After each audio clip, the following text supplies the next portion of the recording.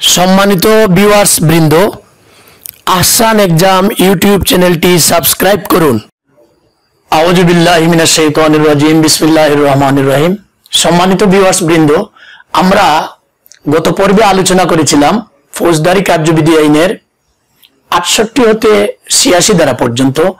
আজকে আমরা আলোচনা করব ফৌজদারি কার্যবিধি আইনের ষষ্ঠ পর্ব, দ্বারা সাতাশি হতে একশো পাঁচ পর্যন্ত। তাহলে আমরা মূল আলোচনায় ফিরে যাই। দ্বারা সাতাশি। সাতাশি ধারায় বলছে হুলিয়া কাকে বলে? হুলিয়া বা ঘোষণাপত্র। হুলিয়া হচ্ছে আদালত যদি মনে করেন কোনো আসামিকে গ্রেফতারি পরোয়ানা প্রদানের পর, যাতে ওই গ্রেফতারি পরোয়ানা কার্যকর করা না হয় সেই জন্য উক্ত আসামি পলাতক রয়েছে বা আত্মগোপন করেছে তাহলে আদালত নির্দিষ্ট তারিখ ও সময়ে নির্দিষ্ট স্থানে হাজির হওয়ার জন্য তিরিশ দিনের কম সময় দিয়ে যে ঘোষণা প্রকাশ করেন, তাকেই হুলিয়া বলে। তাহলে আমরা কি শিখলাম? যে সাতাশির এক দ্বারায় বলছে, হুলিয়া কাকে বলে?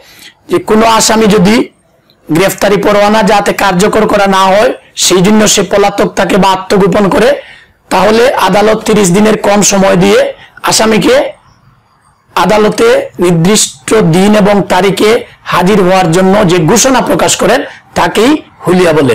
আমরা এখন শিখব সাতাশির দুই দ্বারায় বলছে হুলিয়া জারির পদ্ধতি। হুলিয়া জারির পদ্ধতি সাতাশির দুইয়ে বলছে, সাতাশির দুইয়ের কতে আছে যে হুলিয়াধীন ব্যক্তি যে বাড়িতে বসবাস করত, সেই স্থানে প্রকাশ্যভাবে পাঠ করতে হবে। সাতাশির দুইয়ের খতে বলছে হুলিয়াধীন ব্যক্তি যে স্থানে বসবাস করত, সেই বাড়ির প্রকাশ্য কোন স্থানে এক কপি লটকিয়ে দিতে হবে। আর সাতাশির দুইয়ের গতে বলছে হুলিয়াধীন ব্যক্তি, ব্যক্তির ব্যক্তির বিরুদ্ধে বিজ্ঞ আদালতের প্রকাশ্য স্থানে এক কপি লটকিয়ে দিতে হবে। তাহলে আমরা সাতাশি দ্বারা শিখলাম। এখন শিখব আমরা অষ্টাশি দ্বারা। অষ্টাশি দ্বারায় বলছে ক্রুকি পরোয়ানা বা ক্রুক ফৌজদারি কার্যবিধির পঁচাত্তর দ্বারা এবং সাতাশি দ্বারা মতে গ্রেফতারি পরোয়ানা এবং হুলিয়া প্রদানের পরও যদি কোনো আসামি আদালতে হাজির না হয়, তাহলে আদালত উক্ত ব্যক্তিকে আদালতে হাজির করার জন্য তার স্থাবর এবং অস্থাবর সকল প্রকার সম্পত্তি ক্রুক করে আসামিকে আদালতে হাজির হওয়ার জন্য বাধ্য করতে পারেন। তাহলে আমরা এখন শিখব অষ্টাশির এক দ্বারা। অষ্টাশির এক দ্বারা বলছে যে হুলিয়াধীন ব্যক্তি আদালতে হাজির হওয়ার জন্য আদালত উক্ত ব্যক্তির স্থাবর এবং অস্থাবর উভয় প্রকারের সম্পত্তি ক্রুকের আদেশ দিতে পারেন। অষ্টাশির দুয়ে বলছে হুলিয়াধীন ব্যক্তি যে জেলায় বসবাস করেন, সেই জেলার যে কোনো স্থানে তার এই রূপ স্থাবর স্থাবর সম্পত্তি ক্রুক করতে পারেন। এছাড়াও যদি নিজ জেলা ব্যতীত অন্য কোনো জেলায় তার কোনো সম্পত্তি থাকে, সেই জেলার ম্যাজিস্ট্রেটের অনুমতির মাধ্যমেও তার এই রূপ সম্পত্তি ক্রুক করা যাবে। অষ্টাশীর তিনে বলছে হুলিয়াধীন ব্যক্তির সম্পত্তি যদি অস্থাবর হয়, তাহলে নিম্নলিখিত ভাবে ক্রুক করতে হবে। তাহলে অষ্টাশীর তিনের কতে আছে আটক করে, কতে আছে রিসিভার নিয়োগ করে, গতে আছে হুলিয়াধীন ব্যক্তির নিকটাত্মীয় বা অন্য কোনো ব্যক্তির নিকট সম্পত্তি হস্তান্তর নিষেধ করে বা আদালতের ইচ্ছা অনুসারে অন্য যে কোনো উপায়ে। এখন আমরা শিখব অষ্টাশি সাইড দ্বারা। অষ্টাশি সাইড দ্বারা হচ্ছে হুলিয়াধীন ব্যক্তির সম্পত্তি যদি স্থাবর হয়, তাহলে নিম্নলিখিত ভাবে ক্রুক করা যাবে। অষ্টাশি চারের কতে বলছে, দখল করে কতে বলছে রিসিভার নিয়োগ করে, গতে বলছে হুলিয়াধীন ব্যক্তির আত্মীয় স্বজন বা অন্য কোনো ব্যক্তির নিকট সম্পত্তি হস্তান্তর নিষেধ করে, আর গতে হচ্ছে আদালতের ইচ্ছা অনুসারে অন্য যে কোনো উপায়ে। এখন আমরা শিখব অষ্টাশি পাঁচ দ্বারা। অষ্টাশির পাঁচ দ্বারায় বলছে যে হুলিয়াধীন ব্যক্তির সম্পত্তি যদি ক্রয়শীল বা পচনশীল প্রকৃতির হয়, তাহলে আদালতের আদেশ অনুসারে এইরূপ ক্রয়শীল বা পচনশীল দ্রব্যাদি বিক্রয় করা যাবে। এখন শিখব আমরা অষ্টাশির ছয় দ্বারা। অষ্টাশির ছয় দ্বারা বলছে যে, এখানে রিসিভারের ক্ষমতা, দায়িত্ব, কর্তব্য বলতে আমরা বুঝি উনিশশো আট সালের দেওয়ানি কার্যবিধি আইনের চল্লিশ দ্বারায় যে রিসিভারের ক্ষমতা দায়িত্ব, কর্তব্যের বিষয়ে আলোচনা করা হয়েছে সেইটি সেইটিকেই বুঝায়। এখন শিখব আমরা অষ্টাশি সাত দ্বারা।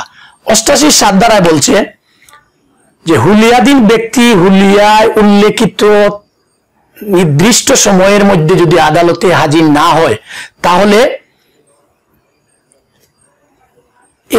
এইরূপ কুকৃত সম্পত্তি সরকারের অধীনে ন্যস্ত হবে এবং ক্রয়শীল বা পচনশীল প্রকৃতির যদি কোনো সম্পত্তি থাকে, তাহলে আদালতের ইচ্ছা অনুসারে এগুলো বিক্রয় করা যাবে। বিক্রয় লব্ধ অর্থ আদালত যেরূপ উপযুক্ত মনে করবেন সেই রূপ আদেশ দিবেন। এখন আমরা শিখব ফৌজদারি কার্যবিধি আইনের উননব্বই দ্বারা উননব্বই দ্বারায় বলছে উননব্বই দ্বারায় বলছে, কুক্ষিত সম্পত্তির প্রত্যার্পণ। যার সম্পত্তি ফৌজদারি কার্যবিধি আইনের অষ্টাশি সাত দ্বারা মোতাবেক ক্রুক করা হয়েছে। সে যদি আদালতে দুই বছরের মধ্যে উপস্থিত হয়ে আদালতের এই মর্মে সন্তুষ্টি বিধান করতে পারে, সে কোনো হুলিয়া নোটিশ পায় নাই, সে পলাতক ছিল না বা আত্মগোপন করে নাই, তাহলে আদালত তার কুক্ষিত সম্পত্তি প্রদান করবেন। এখন আমরা শিখব নব্বই দ্বারা ফৌজদারি কার্যবিধি নব্বই দ্বারা বলছে যে সাক্ষীর প্রতি বারবার সমন প্রদানের পরও যদি সাক্ষী আদালতে হাজির না হয়, তাহলে সমনের অতিরিক্ত পরোয়ানা আদালত প্রদান করতে পারেন। এখন শিখব আমরা একানব্বই দ্বারা একানব্বই দ্বারায় বলছে যে, আদালত কোনো ব্যক্তির নিকট হতে মুসলেকা নিয়ে উক্ত ব্যক্তিকে আদালতে হাজির হওয়ার জন্য বাধ্য করতে পারেন। এখন আমরা শিখব তিরানব্বই ক দ্বারা তিরানব্বই ক দ্বারায় বলছে যে, বাংলাদেশের বাহিরে বা বিদেশে সমন প্রেরণ করা যাবে। তিরানব্বই হতে বলছে, বাংলাদেশের বাহিরে বা বিদেশে গ্রেফতারি পরোয়ানা প্রেরণ করা যাবে। আর তিরানব্বই গতে বলছে, বিদেশ হতে প্রাপ্ত সমন এবং পরোয়ানা বাংলাদেশে কার্যকর করা যাবে। এখন আমরা শিখব চৌরানব্বই দ্বারা চৌরানব্বই দ্বারা বলছে, ম্যাজিস্ট্রেট অথবা মামলার তদন্তকারী কর্মকর্তা যদি মনে করেন কোনো ব্যক্তির নিকট তার মামলা সংক্রান্তে কোনো দলিল বা বস্তু আছে, তাহলে উক্ত ব্যক্তিকে উক্ত দলিল বা বস্তু তার সামনে নিয়ে আসার জন্য লিখিত নোটিশ দিতে পারেন। তাহলে আমরা এখন শিখব পঁচানব্বই দ্বারা। পঁচানব্বই দ্বারা বলছে যে, আদালত যদি মনে করেন কোনো ডাক, পার্সেল বা চিঠিপত্র চিঠিপত্র তার মামলা সংক্রান্ত কোনো বিষয়ে কোনো ডাক, পার্সেল বা চিঠিপত্র প্রয়োজন, তাহলে উক্তরূপ ডাক, পার্সেল বা চিঠিপত্র অর্পণ করার নির্দেশ দিতে পারেন এবং প্রয়োজনে তল্লাশি পরিচালনা ও আটক করতে পারেন। এখন আমরা শিখব ছিয়ানব্বই দ্বারা ছিয়ানব্বই দ্বারা বলছে, আদালত তল্লাশি পরোয়ানা ইস্যু করতে পারেন। সাতানব্বই দ্বারা বলছে যে, আদালত কোন স্থান বা স্থানের অংশ বিশেষ যদি তল্লাশি করার জন্য নির্দেশ প্রদান করেন, তাহলে পরোয়ানা কার্যকরকারী অফিসারের উচিত উক্ত স্থান বা স্থানের অংশ বিশেষ তল্লাশি করা। এখন শিখব আমরা আটানব্বই দ্বারা আটানব্বই দ্বারায় বলছে, কোন স্থানে চুরাই মাল, জাল, দলিল, নকল শিল, নকল করার যন্ত্রপাতি, এইরূপ কোন বস্তু যদি থাকে, তাহলে উক্ত বস্তু উদ্ধার করার জন্য আদালত তল্লাশি পরোয়ানা ইস্যু করতে পারেন। এখন আমরা শিখব নিরানব্বই ক দ্বারা নিরানব্বই ক দ্বারা বলছে, যে সকল প্রকাশনা সরকার বাজেয়াপ্ত করেছেন, এই সমস্ত প্রকাশনা উদ্ধারের জন্য আদালত তল্লাশি পরোয়ানা ইস্যু করতে পারেন।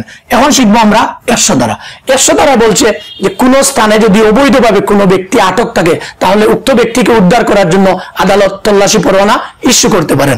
এখন আমরা শিখব একশো দুইয়ের এক দ্বারা একশো দুইয়ের এক দ্বারায় বলছে যে কোনো আবদ্ধ স্থান তল্লাশি করতে হলে উক্ত স্থানের মালিকের অনুমতি নিয়ে তল্লাশি করতে হবে। একশো দুইয়ের দুই দুইতে বলছে যে উক্ত আবদ্ধ স্থানের মালিক যদি অনুমতি না দেয়, তাহলে দরজা জ্বালা ভেঙ্গে প্রবেশ করে তল্লাশি করতে হবে। একশো দুইয়ের তিনে বলছে যে যে স্থানের জন্য তল্লাশি করা হচ্ছে, উক্ত স্থানে উপস্থিত কোনো ব্যক্তির দেহে যদি যে বস্তুর জন্য তল্লাশি করা হচ্ছে সেই বস্তু থাকে, তাহলে উক্ত ব্যক্তির দেহ তল্লাশি করা যাবে। একশো তিনের এক। একশো তিনের এক দ্বারা বলছে, যে জিনিসের জন্য তল্লাশি করা হচ্ছে বা যে স্থানে তল্লাশি করা হচ্ছে উক্ত স্থানের আশেপাশে দুই তিনজন ব্যক্তিকে সাক্ষী হিসাবে উপস্থিত থাকার জন্য পুলিশ অফিসার লিখিতভাবে নোটিশ দিতে পারবেন। একশো তিনের দুই, দুইয়ে বলছে যে, কোন স্থানে তল্লাশি করার পর যদি কোনো বস্তু পাওয়া যায় অথবা পাওয়া না গেলেও তিন কপি জব্দ তালিকা তৈরি করতে হবে। জব্দ তালিকায় সাক্ষীদের স্বাক্ষর গ্রহণ করতে হবে। একশো তিনের তিন হচ্ছে বাড়ির মালিকের উপস্থিতিতে তল্লাশি করতে হবে এবং যে সমস্ত মালামাল তল্লাশি করে উদ্ধার করা হচ্ছে তার একটা তালিকার কপি বাড়ির মালিককে দিতে হবে। একশো তিনের চার হচ্ছে যে, ফৌজদারি কার্যবিধির একশো দুইয়ের তিন দ্বারা মতে কোন ব্যক্তির দেহ তল্লাশিকারে যে সমস্ত মালামাল পাওয়া গেল, তার একটা তালিকা তৈরি করতে হবে, তালিকার একটি কপি উক্ত ব্যক্তিকে দিতে হবে। একশো তিনের পাঁচ হচ্ছে যে, ফৌজদারি কার্যবিধির একশো তিনের এক দ্বারা মতে যাকে তল্লাশিতে হাজির হওয়ার জন্য নোটিশ প্রদান করা হলো, সেই ব্যক্তি যদি তল্লাশিতে হাজির না হয়, তাহলে তার বিরুদ্ধে পেনাল কোড আইনের একশো সাতাশি ধারা অনুসারে আইনানুক ব্যবস্থা গ্রহণ করা যাবে। এখন আমরা শিখব একশো চার দ্বারা একশো চার দ্বারায় বলছে, ম্যাজিস্ট্রেট উপযুক্ত মনে করলে আদালতে দাখিলকৃত কোনো বস্তু বা জিনিস আটক করতে পারেন। একশো পাঁচ দ্বারায় বলছে যে, ম্যাজিস্ট্রেট এইরূপ কোন স্থান তল্লাশি করার নির্দেশ দিতে পারেন, যে স্থান তল্লাশির জন্য তিনি পরোয়ানা জারি করতে পারেন। আজ এ পর্যন্তই, সবাই ভালো থাকুন, সুস্থ থাকুন, খুদা হাফেজ, পরবর্তী ক্লাসে দেখা হবে।